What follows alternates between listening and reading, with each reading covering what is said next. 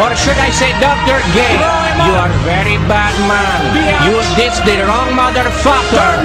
You thought Osama wouldn't diss you back, bitch.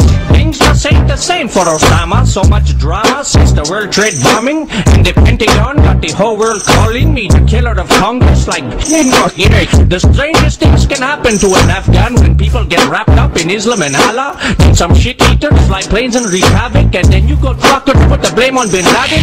Now I got this faggot ass rapper attacking me with this gangster act. Like I'm not gonna battle. Dr. Dre, the man who hasn't done shit since NWA and gave AIDS. Don't make me go Suge Knight on your flat ass, you homofuck. Ain't the only one going platinum. Osama Bin Laden, keeping it gangster. Fuck Dr. Dre, I'm the aftermath. Everywhere that I go, it the same as before.